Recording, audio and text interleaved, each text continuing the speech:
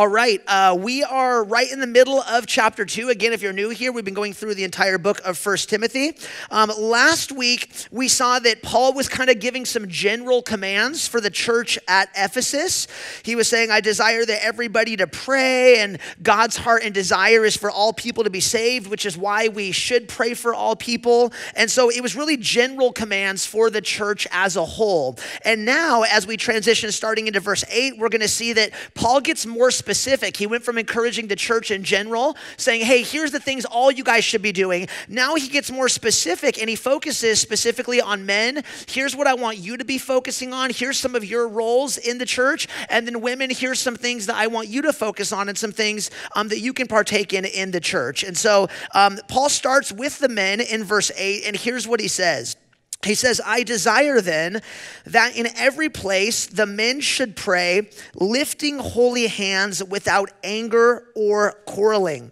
So, Paul here, as he's moving from general, the whole church, to specific, Paul first expresses his strong desire for the men in the church to take initiative and responsibility in the area of prayer. Now, what is important to note is that although Paul is addressing the men, he's saying, Men, I desire that you guys guys pray, Paul's not implying that women are off the hook and never have to pray. And again, just important to note, right? He's like, well, women, you never have to pray, just let the men do that. Paul was addressing the men in prayer because the men had a specific unhealthy tendency and temptation not to pray. He knew that this was a weakness in their life spiritually. He knew this was something they struggled with, and so they needed encouraged in it. And I would say, even today, this is probably something a lot of guys struggle with. I find that women in general are are more prone to pray, and men are typically more passive and have a more difficult time with it. And so Paul's saying, I'm challenging the men in this because this is an area where you guys need to grow. And so Paul is ultimately saying, wherever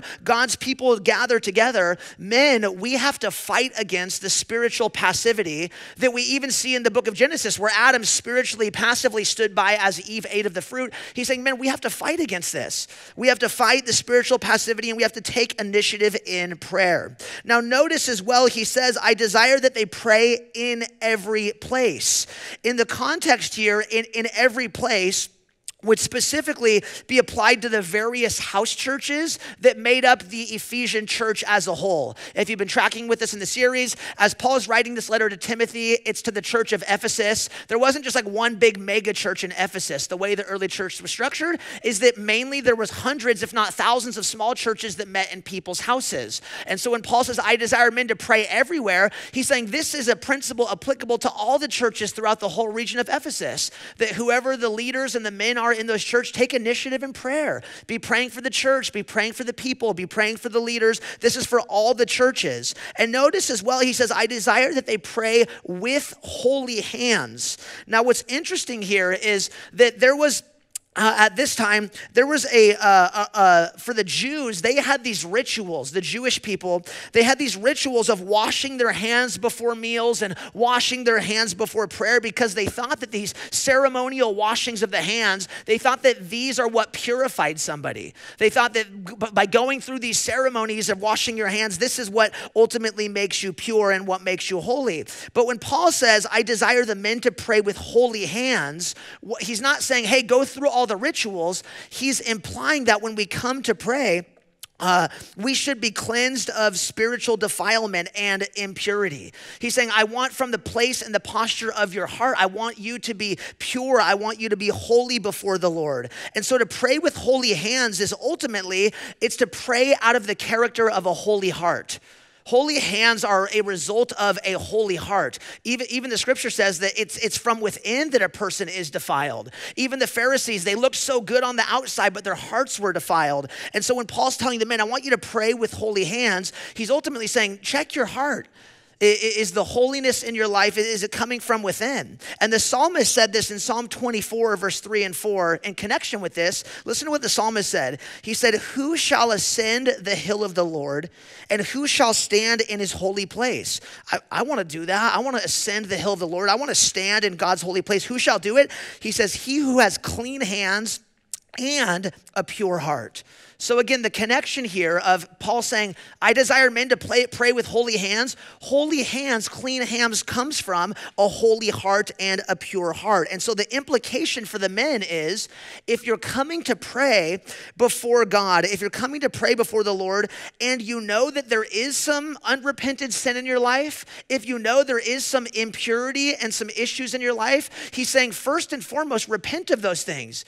He's not saying you can't pray if you're not perfect. But he's saying when you do come to pray, if there's hidden things in your life, though that should be the starting point in prayers. Wow, God, created me a clean heart, as David said. Created me a clean heart so that my heart may be cleansed, so that my hands may be cleansed. I repent of these things so that my prayers might not be hindered. And so ultimately, this is the, the thing that Paul is saying for the men in the church. I know that this is a struggle for you. For the men in the church, I know we can be prone to spiritual passivity, but he's saying, I want you to be leaders in prayer. I want you to be leading your families in prayer, the church in prayer, praying for the nation, praying for the community. This is something that men need to pursue from a place of holy hands, which comes from a holy heart. So again, just an encouragement and a challenge for the men in the in the congregation today to just check your heart and say, God, like, have I have, have I been diligent in prayer? Have I been taking you up on this invitation? This is ultimately this is invitational. It's wow, what a privilege it is that we as men get to come and talk with God and offer requests and prayers and praise. And if I feel like I can't because there's some things in my life, he's saying, deal with that then. Come in repentance. Come and confess your sins. And the scripture says, He who confesses his sins, God is faithful and just to forgive us. Like we, we already have forgiveness because of the atonement of the cross. And so, for the men in the church, I want to challenge us and encourage us um, to continue to pursue prayer, to continue to be leaders in prayer. And just so you guys know, um, we do have a pre gathering prayer meeting every single Sunday at 8 a.m. Greg and his wife Bev lead that. It meets downstairs. So, we talked about this more at length last week when Paul said, I desire everyone to pray. If you're feeling called to that and led to that and saying, man, I do want to press deeper into that, and men specifically for saying, I want to press deeper into that, um, you can join us for pre gathering prayer Sunday mornings at 8 a.m. downstairs. So now, just as Paul says, I desire men to pray in a holy manner, he now transitions and focuses on the women. And look at what he says in verse 9 and 10. He says, Likewise, also, that women should adorn themselves in respectable apparel with modesty and self control, not with braided hair and gold or pearls or costly attire, but with what is proper for women who profess godliness with good works. So, just as Paul said, men, you are to pray in a holy manner he now transitions to the women and says, Women, likewise, you are to adorn yourselves in a holy and godly manner. Now, again, in a, as Paul now specifically focuses in on the women and addresses the issue of modesty, Again, Paul is not saying, hey, men, this is only for the women, so you can wear your Speedo to church. This only applies to the women. That's not what he's saying, right? Again, just like the command for men to pray, this was an issue at this time that they were struggling with. He's not saying women don't have to pray. He's not saying men, you shouldn't dress modestly. But again, at this time, when he's pointing out this issue for the women, this was a specific temptation and tendency that many women in the church of Ephesus had fallen into at the time, which is why he is encouraging them and exhorting them in this. Now, what's important to note, because again, we're 2,000 years removed from this, and, and you can read this and be like, wait, what? I'm not allowed to braid my hair or like wear a gold necklace? Like, what's going on here, right? It's important to note that Paul never intended to make this letter a, a, a fashion guide. Like, this is not like th- these, these commands to not braid your hair for the women, to not wear gold and like have nice clothing. This is not to be taken literally literally. And some people do that and they become very legalistic churches and it's like literally women can't braid their hair and all. That's not what he's getting at here. So just to make that clear for the ladies in the church who wore braids today, we love you. We're glad you're here. If you've got some jewelry on, we're glad you're here. If you wore your favorite outfit, we're glad you're here. None of those things are a sin in and of themselves. So what Paul was getting at uh, is the larger principle of, again, modesty and decency. And so, again, defining these in our cultural context is going to look different than they did at this time, but the principle still remains the same. The principle is for the women to, uh, to present themselves with modesty. And so, again, Paul here is contrasting, ultimately, this is his big idea for the women. Paul is contrasting the outward adornment and beauty, which would draw attention to oneself as a woman or a man. He's contrasting that with the inner beauty, which ultimately brings about godliness and brings attention and glory to God. This is the big idea. And the reason that he brings this up is because at this time, there were, there were women who, by their dress and the way that they were carrying and conducting themselves, they were drawing attention to themselves and wanting people to, to, to, to, marvel and revel in their beauty, and they were detracting people's attention from God. So that's what was going on here. Now, again, his mention of these specific hairstyles and jewelry and clothing, what's important to note is that in this context, these were very common among wealthy women at this time. And so when Paul, in this context, speaking to to the church of Ephesus, says, Hey, I, I don't want the women here in this church, I don't want you to braid your hair and have all this fine jewelry and clothing. These prohibitions were aimed at certain women in the church who were flaunting their wealth uh, in a way that would suppress the poor, and this was causing division in the church. And so Paul is again addressing a very specific situation here. And he's ultimately saying that the church, when the church comes together, the church is to be a place where there is equality before God, where women and men uh, who are wealthy and poor can come together as the body of Christ. And there's not factions and there's not divisions and there's not, oh, well, we dress nicer so we get the better seats in the house. Those are the things that was going on, which is why ultimately Paul is bringing this up. Likewise, Rome at this time, it was really known for its decadent fashion. And the Empress of Rome was ultimately the prime model. And so there were women all throughout the Greco Roman world at this time who were eager to follow and copy the elaborate hairstyles and fashion trends of the Empress of Rome. Now, again, ladies today, you're like, we don't have anything like that going on, right? Like, TikTok, uh, Instagram, your favorite celebs on the map. No, we don't compare ourselves and try to follow the trends of these people who we look up to, right? So this has no application to us. No, it clearly has application. Again, it looks different. We don't have an empress of America who you're like, whoa, I want to be just like her. But we do have in our day and age, this is a struggle for a lot of women and probably some men as well, that you want to be seen that you that you want to be known, that you want to be with the in crowd, that you want to look a certain way that all these other people look and wear the certain things that they wear and have the jewelry that they have. It's the exact same principle, it's just a different context. We don't have the Empress of Rome, we have TikTok. We we have makeup celeb tutorial vids and you're like I have to have that makeup if I'm going to be beautiful, right? It's the exact same principle, different context. And so Paul here again, he is encouraging women to live lives that are marked by modesty rather than vanity. This is the big picture.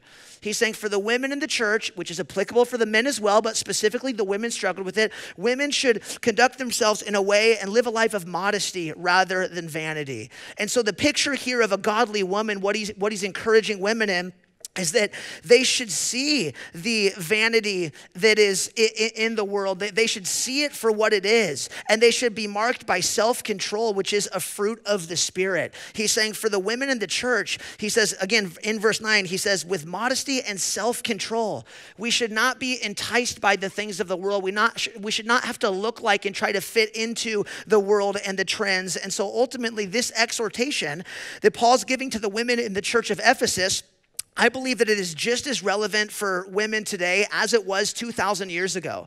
I believe that, again, in the same way that men today struggle with spiritual passivity and may struggle to lead spiritually in prayer, this is something that still women struggle with today. The culture that we live in currently is constantly targeting women, saying that in order to be beautiful, in order to find your true value, in order to be accepted in society, here's all the things you have to do. You, you have to have this certain body type. You have to wear these certain brands of clothing. You have to have a certain amount of plastic surgery. You have to wear a certain type of makeup. You have to drive a certain type of car. And of course, don't forget the Hermes clutch, right, ladies? Like you have to have that if you're going to fit into the mold of what culture says. This is what a real woman looks like. And so ultimately, again, this is something where Paul is saying for the women in the church, I want your life to be marked by modesty and godliness and, and self control, and you should be known for your good works. And so while many women, give free reins to their desires and to their appetites and to all these things that the world says here's the things you have to do.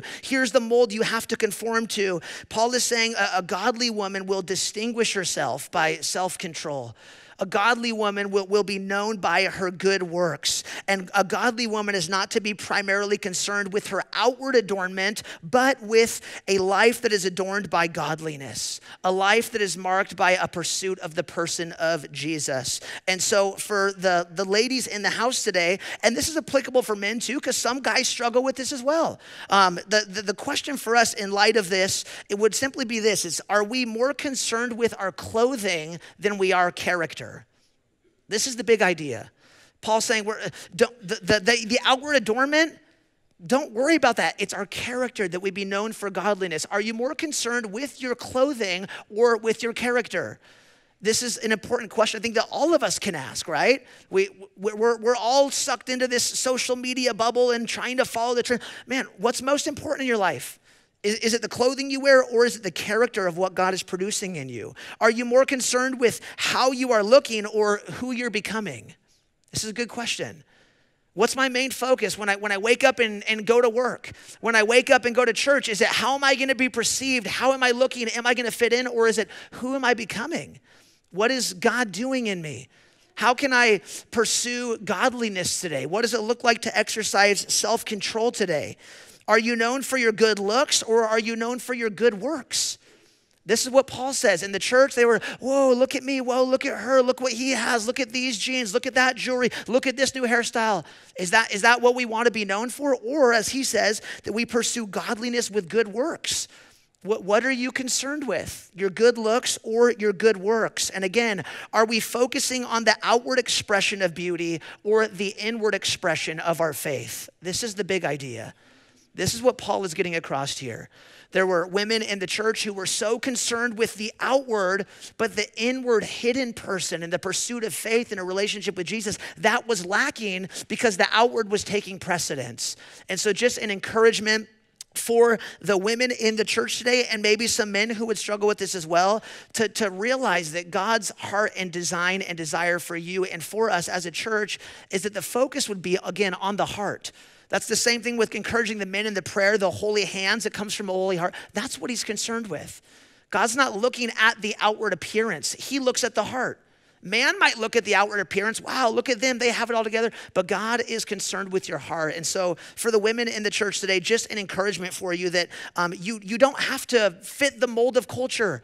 You don't have to have that type of clothing, wear that type of makeup, get that type of surgery to be a woman of God. You can pursue a relationship with Jesus. You can be known by your godliness and your good works. You can have self control by the power of the Spirit. And that's ultimately what God is concerned with. Amen. Amen. Okay, now I am going to read verses 11 through 15, which, if you're familiar with 1 Timothy, I know why you guys are here today. This is what you want to hear. I am just going to read it as it is, and then we will take some time exploring this. This is going to be kind of the main portion for this morning.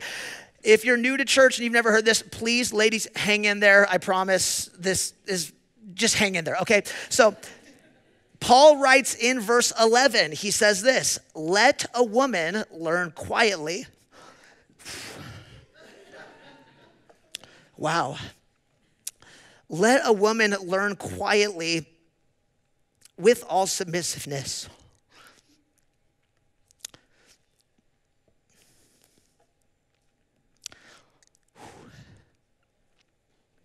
I do not permit a woman to teach or to exercise authority over a man. Rather, she is to remain quiet for Adam was formed first, then Eve. And Adam was not deceived, but the woman was deceived and became a transgressor. Yet she will be saved through childbearing if they continue in faith and love and holiness with self control.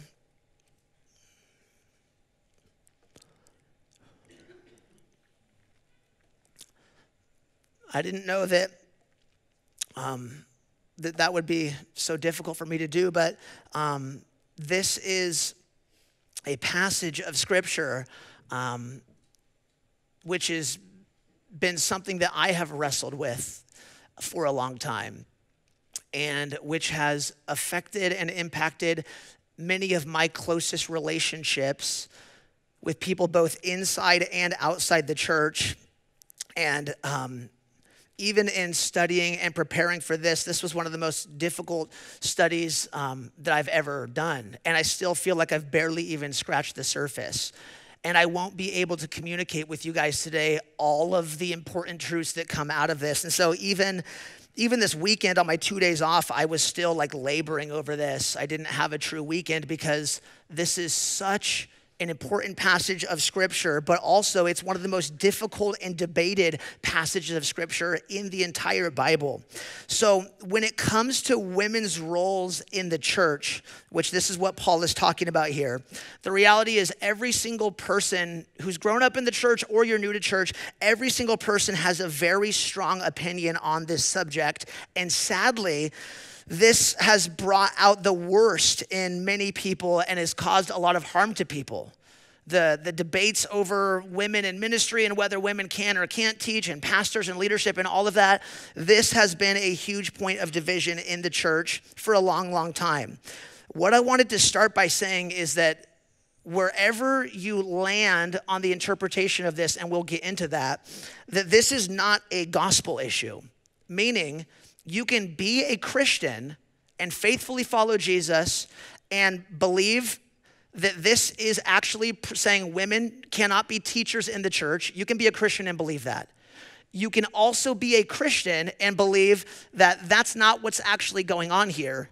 And women can teach in the church and can be pastors and leaders. And if you've only grown up in one church culture, you may not even know that there's churches that practice both. There's some churches that uh, where, where you find women pastors and teachers, and then there's some where there's not. So again, in the body of Christ, I wanted to start by saying this is not a gospel issue. We can't say, well, this church doesn't allow women teachers, or this one does. Therefore, these ones are teaching the true gospel, and these ones are heretics. That is what we ultimately need to avoid. Sincere believers who are genuinely seeking to follow Jesus, who are wholly committed to the scriptures and the authority of the scriptures, they are on both sides of the issue. Some of my personal favorite pastors and personal mentors are on completely different ends of the spectrum. I don't say, well, you do believe this or you don't believe this, therefore you don't understand the gospel and I can't be discipled by you and I can't learn from you. Again, this for me personally is not a divisive issue, is not something which again affects the gospel as a whole. And so again, I believe that one could build a credible case within the bounds of orthodoxy and a commitment to the inerrancy of the scriptures for either one of these two major views. You could do that. You, could be committed to the scriptures, believing that the scriptures are inspired and inerrant and authoritative, and build a credible case for either one of the views. And so, again, nobody can assert that a particular view on the issue is the only one reflecting biblical inerrancy. Does that make sense? That's what we have to avoid. And again, some people are very strong on one side or the other. We can't label the other people and say, well, you're not Christians or, well, you're heretics. Because, I, and again, I think this is why I maybe got emotional. What grieves me the most, and also what I believe really grieves the Holy Spirit, and the scripture says, do not grieve the Holy Spirit. What grieves my heart and the Holy Spirit is really the inexcusable disdain with which each side has treated the other. I've seen this. I've seen the, the demonizing and the we can't do ministry with you or you don't actually fully understand or whatever. Like I, have seen it in the church, it brings about division. And I believe that that grieves the Holy Spirit. And so ultimately, I want to begin with a plea for Christian civility in our discussion on this particular issue. This is what I want to ask of our church and of, of our family when it comes to this discussion, this topic, uh, that, that we would have civility and, and charity and an open heart to hear somebody who might believe something different on this particular issue. And so I want to make every effort to portray both sides of this very debated passage of scripture. I want to make every effort to, pray, to portray both sides in the best possible terms to avoid misrepresentation, sarcasm, or caricature. This is, we, we have to just realize there, there is space and there has been space throughout history for people who land in a different position on this issue. And so, again, for me, this is an issue where I believe as Christians we should be able to respectfully agree to disagree. Um, I did a teaching on that in the Q&R series. How do we love those we disagree with, even in the body of Christ? If this is something you're struggling with, you can go back and listen to that. That would be a very applicable moment for this teaching today. So, as Christians, I believe we should be able to respectfully disagree without calling into question uh, another person's love for Jesus or their commitment to the scriptures. And so, again, I want to challenge our church body as, as we kind of start going down this road and unpacking this to commit ourselves to this sort of dialogue on this subject that would honor Christ. And, and that would glorify the person of Jesus and would enhance the church's, uh, the, the church's witness in a community that would enhance our witness in the world rather than tarnish it in a society which already sees the church as its worst enemy. Our, our culture already hates the church and sees us as the greatest enemy. I want to promote dialogue around this that says, wow, like this enhances people's views of Christianity. That they're not actually just after each other. They can agree and disagree and still love each other and serve each other. So ultimately, wherever you land, wherever we land, uh, we have to check our hearts, we have to check our motives, and we have to continue to look to the scriptures. Um, I did want to say as well that, uh, again, even among our elder team and our staff and our leadership team here, which I think this is really healthy, there's disagreement on this issue.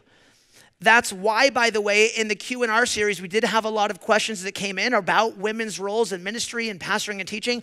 Uh, and we shared with the, the church that we were not ready to go down that road with you guys yet, simply because we're still trying to work through this we're, we're still trying to figure out as a church what does this mean and look like and how do we do this when even amongst the leaders in our church there's people on different sides of the aisle. And so that's that's completely okay and i think it is healthy.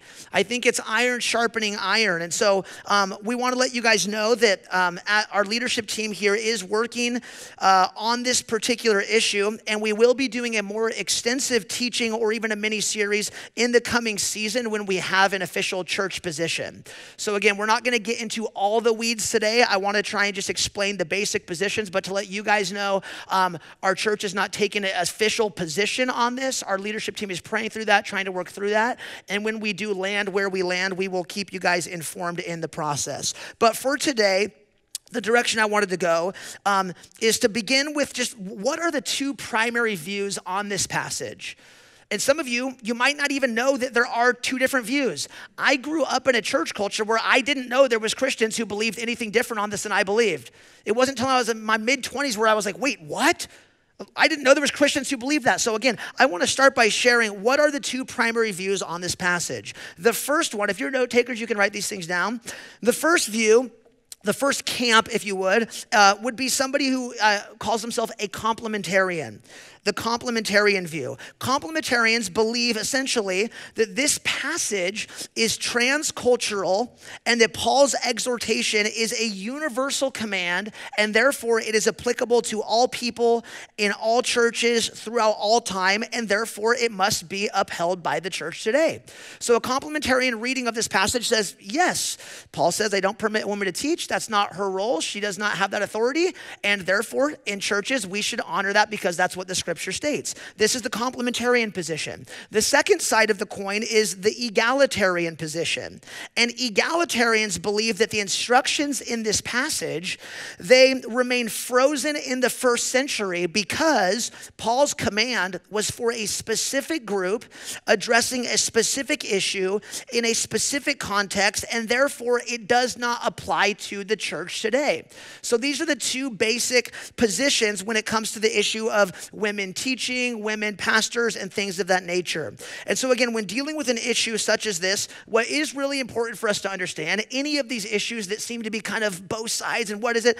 The key for, for you, students of the Bible, the, the key things that we need to do as interpreters, we have to look at the immediate context of what's happening in the passage. Anybody who's going to be faithful to a text, this is what you do. You have to look at the immediate context of what's happening in the passage. You have to look at the context of what's happening in the culture at that time, because again, this is a letter written to a specific group of people. So, what was happening in that culture that made Paul write this? And then, number three, you also have to look at the broader context and scope of the scriptures as a whole, because there's no part of the Bible that will contradict another part of the Bible. So, wherever you land on this issue or any issue, these are the things we have to look at. What does this mean in its context right here? What was happening in that culture at that time that prompted the writing? And what does the broader scope of Scripture say as a whole? Now, again, what I do want to say is that this is not an issue of chauvinism or discrimination. This isn't the, the root of this issue is biblical interpretation.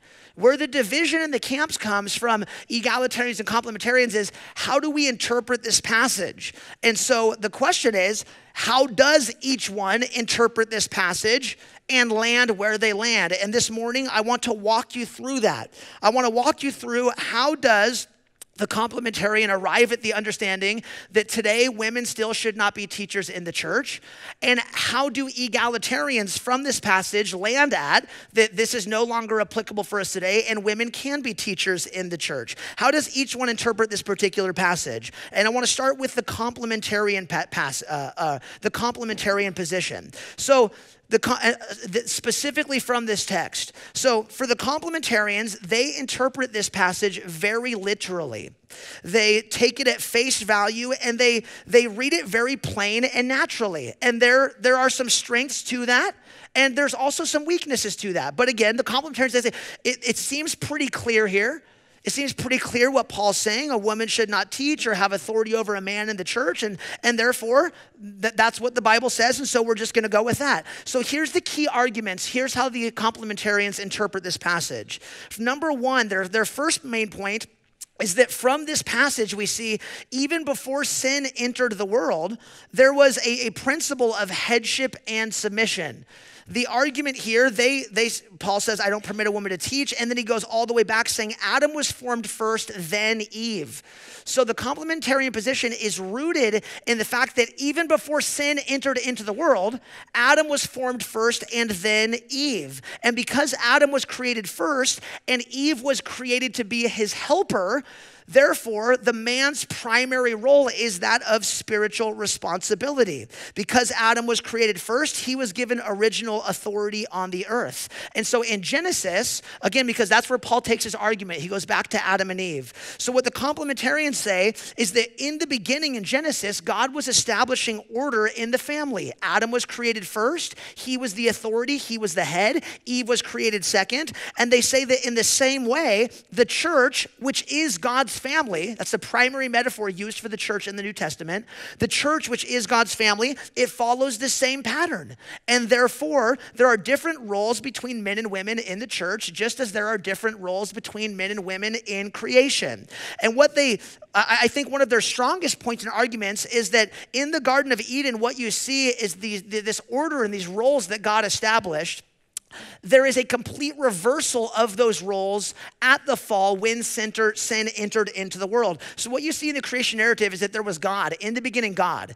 God created the heavens and the earth. He is the ultimate authority, He's the primary authority. God then created man and after, uh, after man, from his side, he created the woman. And man and woman both together were to have authority over the earth and even over Satan. So the order in creation, God has ultimate authority. This is the complementary position. Then men are given spiritual authority. Then women who are also made in God's image, who, who are, are submit to the head, which is man, who submits to Christ. And then Satan is there at the bottom. He has no authority over man, woman, or God. But in the Garden of Eden, what you see happening is a complete complete reversal of the roles. What you see in the garden is the serpent, Satan, he took the place of ultimate authority. And then Eve was the one who was tempted at the tree and said, Oh, wow, maybe we should do that. Maybe we should eat of the fruit. So Satan had ultimate authority. Eve took the role of spiritual leadership and told her husband, Here's what we should do. We should eat the fruit. And God was left completely out of the picture. So the complementary position is that, again, the fall was a result of the complete reversal of roles. Rather than God, man, woman, Satan, you see Satan, woman, man, God. And this is a big part of the complementarian understanding as to why God has established this type of order in a family and in the church. So again, their primary argument is rooted in the order of creation. It goes back to creation, and they believe it has universal application in the family and in the church today. The, the complementarians say that God has chosen to give men the primary teaching authority and spiritual leadership in the church because this is the way that God intended it to be from the very beginning. That Adam was created first and that Eve was created second. The second key element to their argument, so that's the, the, their first main point for the complementarians Adam was formed first, then Eve. It's very clear from the beginning, God gave man authority, and Eve was uh, to be in a support role as man's helper. The second key element to the complementarian argument is notice um, it says in verse 14, it says, And Adam was not deceived, but the woman was deceived and became a transgressor. So the second key element to their argument is that Eve was deceived, and in her deception, she took the role of spiritual leadership by again telling Adam, Adam, hey, we should eat of this fruit. She was taking the role of a spiritual leader, being deceived, and as a result, sin entered into the world. So the complementarians look at this and they say, "This what happened in the beginning."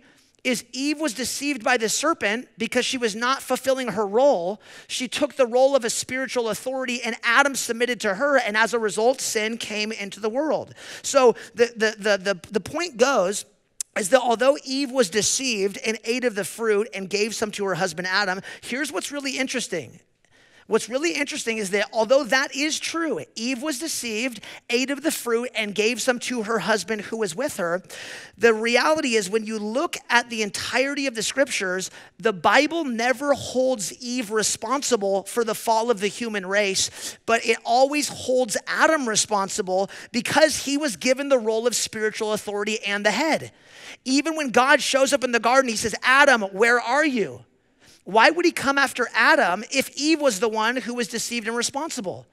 It's because God is holding Adam responsible as the spiritual head, even though Eve was deceived. And when you look at the entire New Testament, what you see is the same thing. Anytime original sin is mentioned, it always links it to Adam, even though Eve was the one that was deceived. Romans chapter 5, verse 12, for example, and Romans 5, you can read the whole chapter later, lays this out very clear. But look at Romans 5, 12. It says, Therefore, just as sin came into the world through one man, and death through sin, so death spread to all men because all sinned. So Paul says sin came into the world through one man. That is Adam. But wait, wasn't it Eve who was deceived and ate of the fruit and gave some to her husband? Yes. But God did not hold Eve responsible. He held Adam responsible because, the complementarian says, Adam is responsible because there was a difference in authority. He had been given spiritual authority, and although it was Eve who was deceived, Adam is ultimately held responsible because he was given the position of authority. Does that make sense? So, this is where the complementarians land, and this is, again, the way that they interpret this passage. They say that Adam had an authority that Eve didn't have, and therefore Adam failed in his responsibility in a far more significant way than Eve did. Yes, Eve was deceived, Adam sinned knowingly. And ultimately, this is why God holds him responsible, because God, from the beginning, the complementarians say, God from the beginning established order that men would be in the role of spiritual authority and which is why at the end of the day, Adam is held responsible even though Eve was deceived. It's because Adam passively stood by even as Eve was eating of the fruit. So, again, the complementarian position on this is rooted in two main things. They say, number one, we see that from the beginning, God created man, then woman. There, there is, from the very beginning, creation, there is order, and God has established that and desires that to be established throughout all history. And then their second key argument again is that Eve was deceived. However, God held Adam responsible because God created Adam as the head and put him in the place of spiritual authority. So again, this is how the complementarians um, interpret this passage of scripture. That's where they land. That's how they land, where they land. And that's why they believe that even in the church today, that women should not be in the role of a pastor or a teacher because of these very things. The argument goes back rooted into creation itself. The second position, which is the egalitarian position, egalitarians, again, they interpret this passage in light of the cultural circumstances happening in Ephesus at this time, and they look at the broader framework of women in ministry throughout the rest of the scripture. So, again, neither of these camps is saying, let's just disregard the scripture. Let's just throw it out. Both of them are looking at the scripture, but they're seeing it in a different way. And so here's the key arguments for the egalitarians. Here's how egalitarians interpret this passage and why they believe that women can be in roles of spiritual authority, even in the church today. The first argument from the egalitarian perspective is they say that Paul is not prohibiting all spiritual authority from women, but a certain type of unbiblical authority. Again, if you're a note taker, Paul is not prohibiting all spiritual authority from women, but a certain type of unbiblical authority. This is where their argument begins. It's, it's important to note that this uh, that there are in the new in the scriptures there are 47 different words for our english word authority which is kind of crazy right we just say authority we have one word kind of maybe like commander or chief in the Bible, there are 47 different words used for what we say authority. And in this particular instance, when Paul says in verse 12, I do not permit a woman to teach or exercise authority, the word that Paul uses out of 47 different choices is this Greek word authenteo. A U T H E N T E O, authenteo. And what's interesting is that this is the only time that this word is used in the entire Bible. Not to get too nerdy and complex on you, but this is what's called a hapax legomenon, meaning this is the only mention in the whole Bible. You can drop that at a tea party this week. People will be like, whoa, sweet. Why that's important is because if you don't have other mentions of any particular word, then it's hard to know what exactly does it mean. It's called a semantic range. What's good when you have other mentions you go, whoa, this meant this here and this here and this here. And so we kind of have a broader understanding of what's going on. If this is the only mention in the scripture, then it becomes a little bit more difficult to interpret by the scripture itself. And so what is interesting is that this word authenteo, which Paul intentionally used, only time mentioned in the Bible, Apart from scripture, in the culture at this time, this word authenteo was originally meant and used when someone murders someone with their own hand. That's what it originally meant in Greek culture. So it's well, what does Paul mean here then? If he's saying a woman should not have authority, is she saying, ladies, don't come in and like kill a man? Like, what's going on if that's what the word originally meant? Well, over time, this word in Greek culture was, as words and language does shift and change, over time, this word was used for one who acts on their own authority, and it meant in this culture to have mastery over or to lord over. And so ultimately, what the egalitarians believe is it is a very specific type of authority that Paul Paul is saying women should not exercise over a man. And so uh, if Paul was prohibiting, they argue, if Paul was prohibiting general authority or even good authority, because not all authority is bad, right?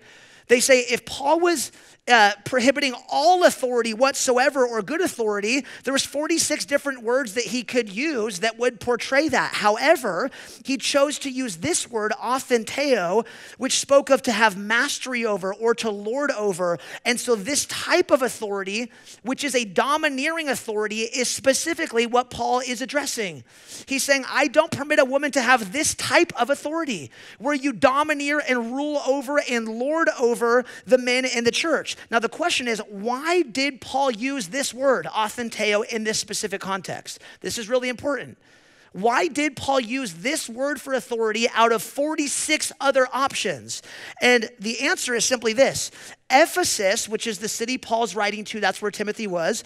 Ephesus was a Greek city and it was known for its worship of Artemis, who was the Greek goddess. And Artemis had a massive temple. You can still see it if you ever go to Ephesus, it's crazy. There's this massive temple that was erected in the heart of the city to the Greek goddess Artemis. And in the Artemis cult, the Greeks, which is the culture that Paul's writing to here in Ephesus, the Greeks elevated women to positions of power where they ruled over men.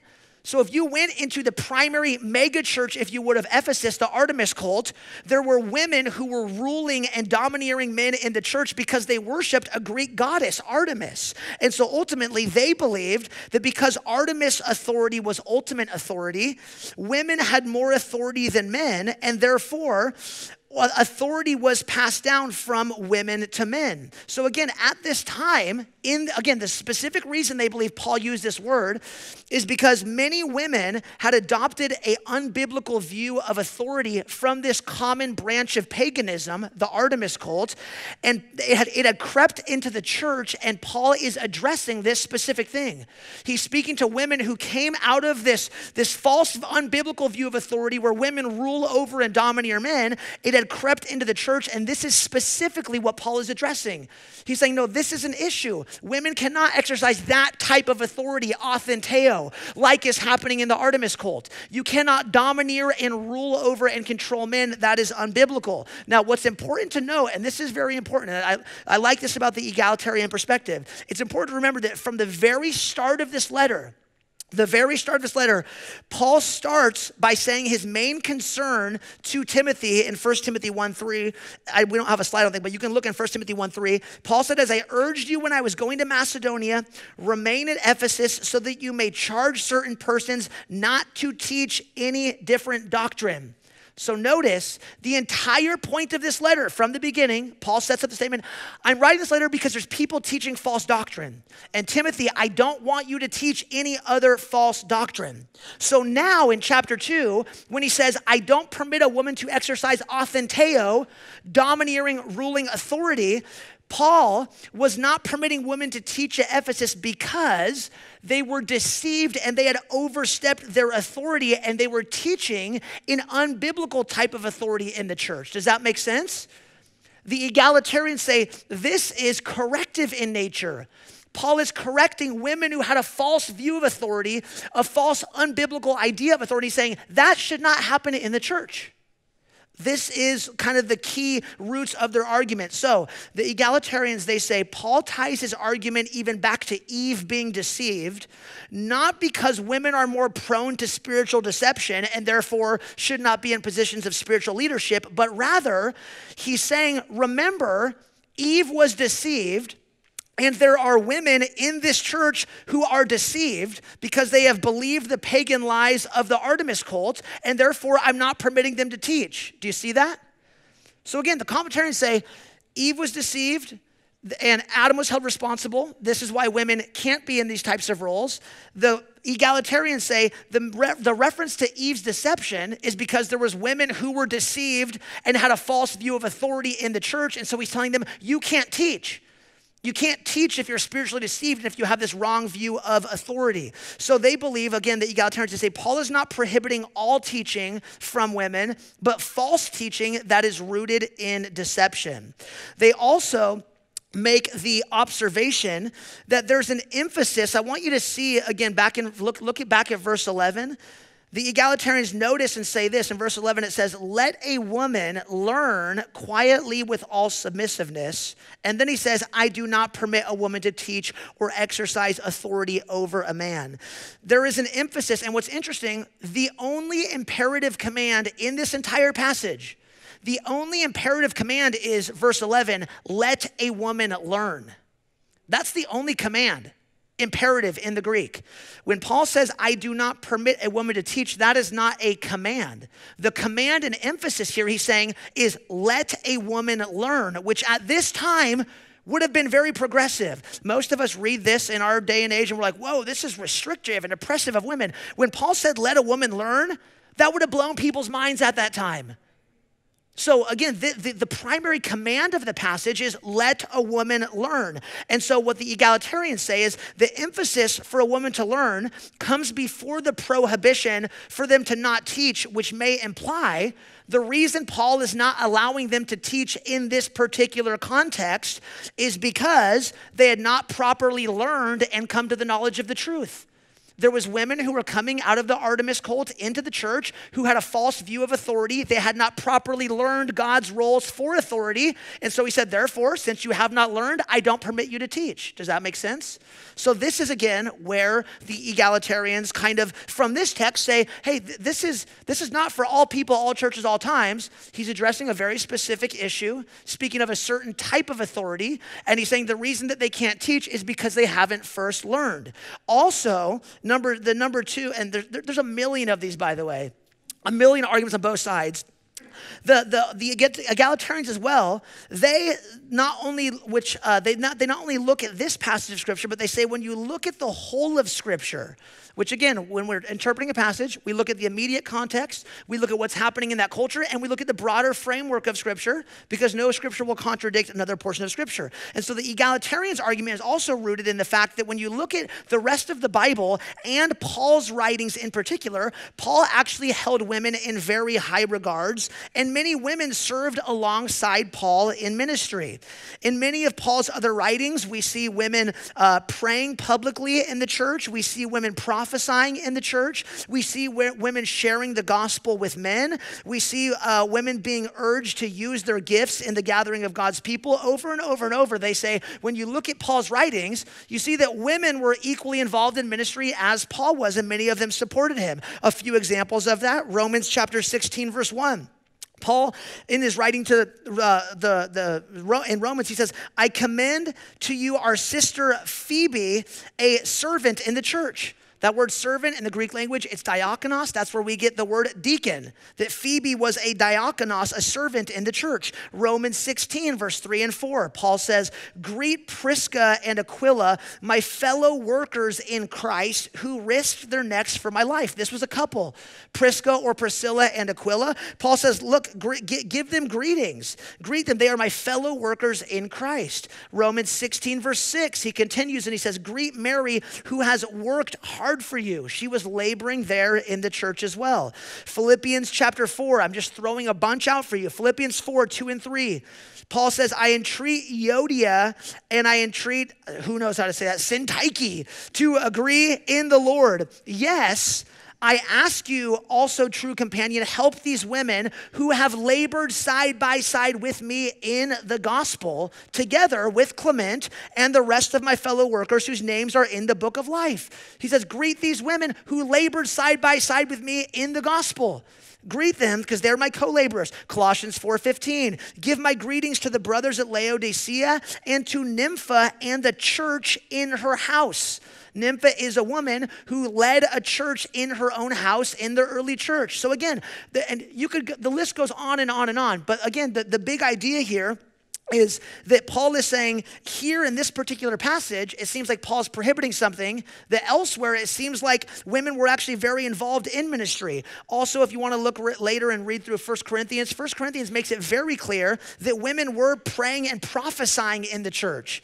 They were giving uh, authoritative prophetic utterances in the church. And Paul says in 1 Corinthians 14, I'll, this is the final verse because I could do a million, but 1 Corinthians 14, 26, listen to what Paul says. He says, What then, brothers? When you come together, each one has a hymn, a lesson, a revelation, a tongue, or an interpretation. Let all things be done for building up. So, Paul in 1 Corinthians 14, he's talking to the entire church as well. And he says, When you guys come together, he says, each one, not just each man, each one, meaning every person in the body of Christ has a hymn, a lesson, a revelation, a tongue, an interpretation. So again, Paul is saying here that the church, in the church, Every person, men and women, has different gifts. And when the church comes together, we should all be able to use those gifts. So the egalitarians argue that the Bible nowhere restricts women from exercising the gifts of the Spirit. So the question is why is it that all throughout the New Testament, which we just did a, a, brief synopsis, but why is it that all throughout the New Testament and Paul's letters, there were women serving alongside Paul in ministry, proclaiming the gospel with Paul, supporting Paul, building up and encouraging the church? But in this passage, Paul says that a woman cannot teach or exercise authority over a man. Why would Paul say that here if it seems like in the broader scope of scripture elsewhere, there were women who were as actively involved in ministry with Paul? And the egalitarians say it is because, again, there is a specific context that Paul was speaking into. And that context, again, was that there were women in the church of Ephesus who were overstepping their authority and had a unbiblical understanding of authority. And so Paul is correcting them. It is corrective in nature, not prescriptive in nature. Paul is saying these women in this context who have a false view of authority, I'm telling you, you can't use authority, which is why I'm not permitting you to teach over men. You need to first learn, come and learn. And the egalitarians would argue that if a woman is properly learned, that she then could be a teacher in the church as well. So, again, these are some of the primary arguments. And again, there's so much more on both sides um, that, that we could go into if we had literally 20 hours to sit here. So, we won't do that for now. So, what I want to conclude with is this.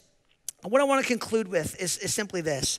Whatever camp you do land in, whether you are a strong complementarian, strong egalitarian, soft comp, somp egal, somewhere in the middle, kind of both, wherever you land on this particular issue, what we can all agree on is that women and men are equal in value, equal in dignity, equal in worth, because we clearly see from the very beginning God created male and female, man and woman, both in his image.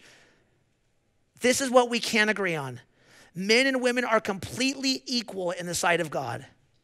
God has created us equal in worth, dignity, and value, having making us in having made us in his image. And therefore, men and women have equal access to the salvation that Jesus provided at the cross. Men and women are equally filled with God's Spirit through faith in the finished work of God's cross. And we both have been called to make disciples of all nations. This is the Great Commission for every follower of Jesus. Men and women, our commission and calling in life our purpose as we remain here on this earth, as long as God would have us here, is that we make disciples of all nations that, that we go and we teach people to observe all that Christ has commanded. This is a commission for men and women, it's for the entire church that we're called to go and we're called to make disciples. And so, my prayer for our church is that we would become the type of church, that we would become a church that equips and empowers both men and women alike to walk in the power of the Spirit to make disciples of all nations and to share the good news of Jesus with a lost and broken world. It's so sad and I think damaging that within a church you can get so concerned with these theological nuances and debate this forever that we miss the big picture of the mission. That the mission is hey, together, men and women, let's partner and go and spread the gospel. Let's partner and go and make disciples of all nations. Let's recognize the authority that we all have because we've been filled with the Spirit, we've been created in the image of God, and let's go and fulfill the Great Commission. That's the calling that God has placed on all of our lives. And so, again, my prayer for our church um, is that, again, that in this particular issue, there would be charity, that there would be grace, um, that this would not be something that brings division and divisiveness, but would say, wow, let me learn, let, let me listen to it. Why do you, why are you a complementarian? Why are you an egalitarian? Why do you believe women can teach? Why don't you? And to create space to learn.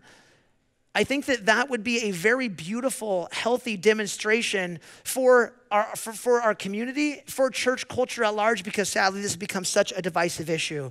So, again, as we go out, I want to end with just that note that we would be a church who just remains committed to the essentials, that we would be a church who's committed to the gospel, committed to making disciples, and that as we go out in the power of the Spirit, both men and women alike would see our, our, our neighborhoods, our communities, our families, our work cultures being transformed by the power of the gospel, by the power of the Spirit. Amen.